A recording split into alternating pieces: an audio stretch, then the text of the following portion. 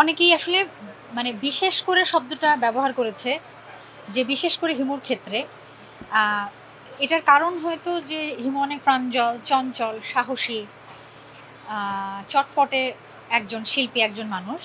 কিন্তু আমার মনে হয় শুধু হিমুর ক্ষেত্রে না আসলে যে কোনো সহকর্মীর যদি এরকম অকাল প্রয়াণ প্রয়াণ হয় এবং সেটার কারণ যদি একটু রহস্যজনক থাকে আমাদের সবার কাছে একটু ঘোলাটে থাকে, তাহলে সেটা আসলে ওই আপনার প্রশ্নের উত্তরটা দিলাম যে আঘাত করে সবাইকেই।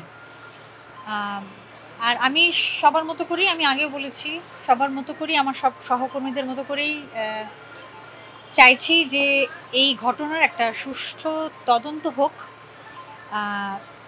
কারণ শুধু তদন্তের স্বার্থেই নয়, যাতে করে এই ধরনের ঘটনার পুনরাবৃত্তি না ঘটে।